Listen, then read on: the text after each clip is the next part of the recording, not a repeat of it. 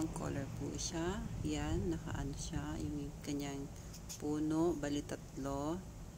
Sinasampid siya. Yan, ganyan, lumabas. Bali tatlong puno po yan. Ayan. Tatlo siya. Tapos parang sinalapid. Hanggang sa lumaki. Ano siya? Yan, yan. Tingnan. One.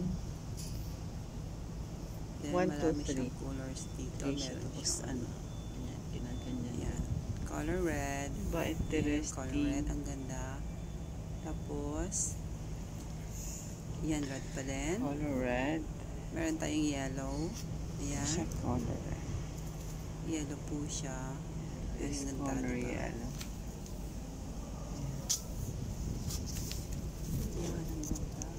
Ayan. Tapos meron tayong ayan siya. Red pa rin. Ayan. Ay, light red. Yung parang pink. Ayan po. At saka meron tayong white. Ayan. Siyempre, may yellow. Pero hindi pa siya namumulagkad. Yung parang ano tawag yan. Ayan. Tapos Hibiscus. Parang orange. At dito naman tayo sa sunflower. Ayan, ang ganda ng sunflower. Kumikinang.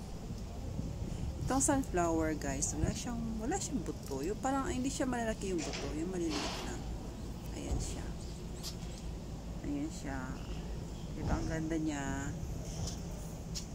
Ayan. Seedlings pa siya. Pwede siya i-transfer sa ano, sa lupa. Nakapat pa lang yan siya. Ayan. Ang ganda ng sunflower.